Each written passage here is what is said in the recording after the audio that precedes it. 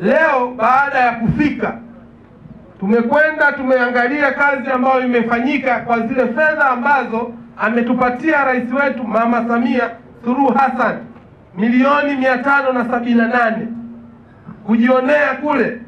Tumeona mradi wa maji, tumeona pale TETRA kwa ajili ya wafugaji kwa maana ya ng'ombe zao wapate huduma ya maji, lakini leo nimeenda kuliangalia bwawa.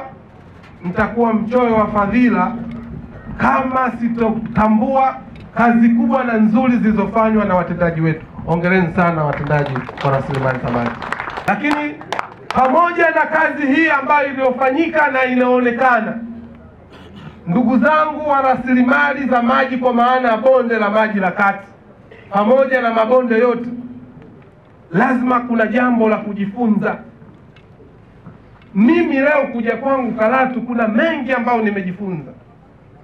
Asilimia kubwa ya viongozi na hata wananchi wanajua tu umuhimu wa kujengewa mradi wa maji, na kilio chao hapa, tuna mradi wa maji, tunawapa maji, lakini watu wanasahau juu ya kulinda na kutunza vyanzo vya maji, hawazungumzi.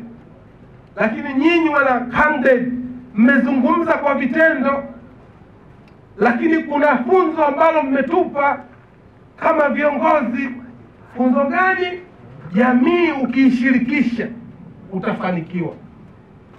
Jamii usipoishirikisha utakwama.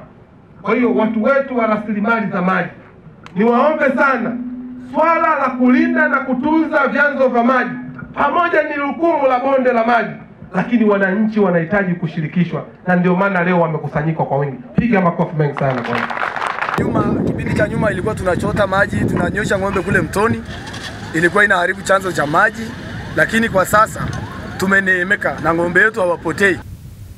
Bonde la maji la kati liliokoa shilingi milioni mia nne ishirini na mbili. Iwapo kazi hii angepewa mkandarasi, tungetumia karibu milioni moja. Tuwapongeze sana bonde la kati kwa kazi kubwa waliofanya. Mimi naitwa Danford Samson, ni afisa maji wa bodi ya maji bonde la kati.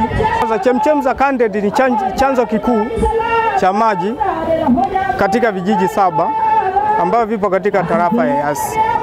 Uhifadhi wa chanzo hiki utasaidia kuongeza maji kwa jamii, matumizi ya nyumbani yataongezeka, watu watalima.